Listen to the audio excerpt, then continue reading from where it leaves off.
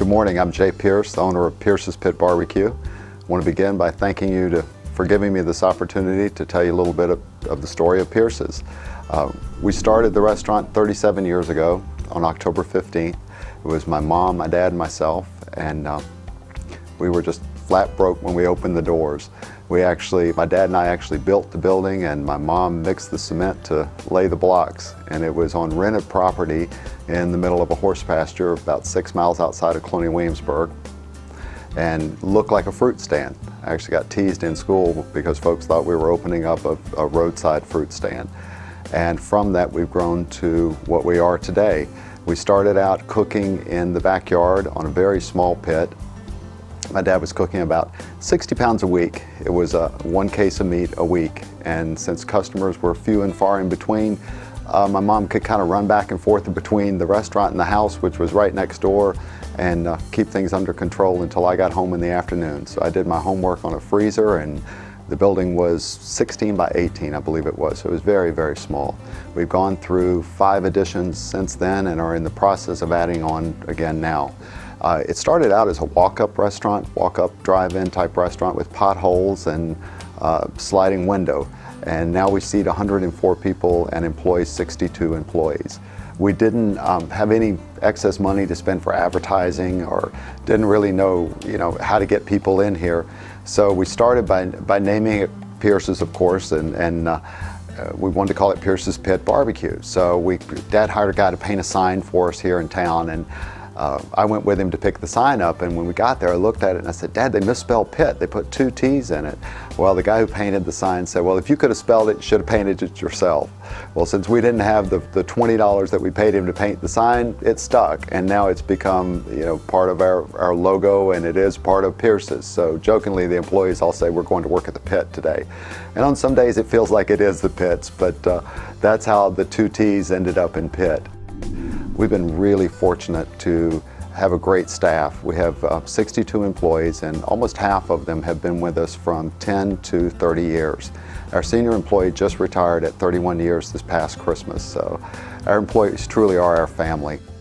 Um, when we first started, we, we did everything in-house. In we made our own coleslaw, uh, chopped all the meat and so forth, which we still do, but we also made our sauce here then too. Uh, since then, as recent as last August, we've gone into the retail market. So as of now, we're in 137 grocery stores with our barbecue sauce.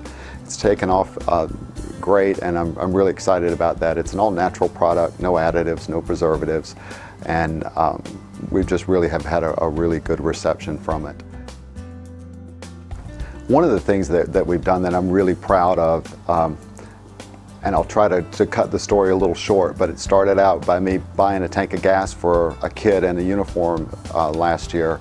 And it turns out his mom sent him a care package that had a bottle of barbecue sauce from Pierce's Barbecue in it. And I get an email from Sergeant Brown in Al Asad, Iraq, and he said that they don't have a lot of free time that the guys um, like to do cook-offs, that they enjoy cooking, and that's what they do in their spare time. And did we think that we could send them a couple of cases of barbecue sauce for Thanksgiving. Well, of course, we wanted to do it, but we had a hard time trying to find a way to get it to them. So we actually had to go through the governor's office to find out how to mail it to them. Well, they got the barbecue sauce, and uh, I started getting these emails back from them, and they sent me some great pictures of these guys on the back of tankers holding up bottles of Pierce's barbecue sauce. I was really, really proud to be able to do that, and that led to some wonderful articles in newspapers and just everyday customers coming in and telling me what that meant to them, that they had sons and daughters and relatives that were over there and, and weren't going to make it home for the holidays. So I feel like we did a little something to let them know how proud we were of them and I was really glad that I had that opportunity that day to run into that kid and you just never know when you do something nice for someone when it's going to turn around and turn into something really big.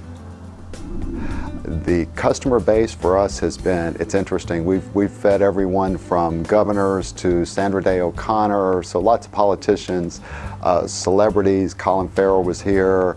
Uh, we just had dinner with Paula Deen uh, last week. And so we've, we've had a lot of fun doing that, but we also have those, those long-time customers that have been coming here since the 70s that still come in every day. And those are the folks that, that come by on a regular basis. We know who they are. Um, sometimes we know to have their order ready when they walk in the door. Uh, so like our customers, we have really, really been blessed with just longtime friends. Uh, I have people ask me all the time why they think that we've been successful. And I, my, the only answer I can come up with um, is customer service and quality control. And I give credit, total credit to that actually, not only um, not only myself, my mom and my dad, but to, mostly to our employees because they take a great deal of pride in our product. Um, in this day and age of everyone's in a hurry and fast food service and cookie cutter formulas. I think that's why we have survived and, and that's also why I think that this would be a great story to tell on the Food Network because we, we truly are a dying breed. There are not very many of us left. You drive down the interstates and you see all these signs for chain restaurants and you kind of know what you're going to get before you get there and you know what it's going to taste like and that gives you a sense of security but sometimes for myself especially I like the surprise and every now and then you find a surprise on the side of the road, and that's what Pierce's Barbecue is. We've had wonderful articles written about us. And we won Reader's Choice Award for Southern Living for several years.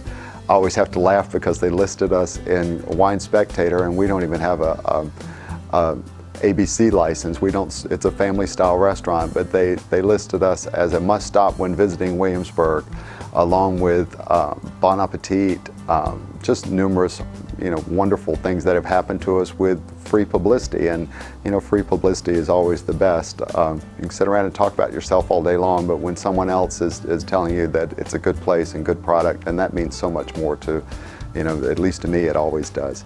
So we really, we enjoy our job, enjoy what we do. Uh, we still try to keep everything at an affordable price, and in this day and age, with the way the economy is, a family of four can still come here and eat for $20. Our average price point is about $8 a person and on the weekends we'll serve 3,000 orders and have 3,000 transactions go through. It's a lot of people coming in and out. So from those days when it was just a walk-up counter and mom could stay at the house and keep her eye out the window, you know, to catch the customers as they came up, to now we most times have a line out the front door. Things have, have really, really changed. Once again, I want to thank you for visiting with us today and allowing me to tell you some stories about the pit. Um, I could sit here and talk to you for hours and tell you things that have happened. Obviously, 37 years, we have a lot of, lot of stories to tell from little ladies climbing the fence and getting $75 tickets for parking on the side of the interstate and telling the officers that, that if she was going to pay $75, she sure as hell was going to eat her lunch, uh, to helicopters pulling up in the parking lot and causing all kinds of commotion, and actually some stories about the guys in the pit, which they probably wouldn't want me to tell. But I hope you're going to find it interesting enough that you want to come pay us a visit and spend some time with us. I think that we have a, a story here to tell and hopefully you'll find it interesting and I really appreciate this opportunity. Thanks a lot and I look forward to hearing from you soon.